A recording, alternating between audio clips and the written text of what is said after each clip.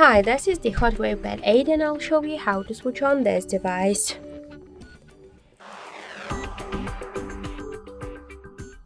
So first we should find the power key button and then just press and hold it for a few seconds.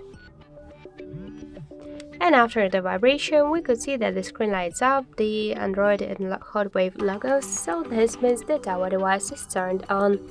Thank you for watching and if you like this video, leave thumbs up and subscribe.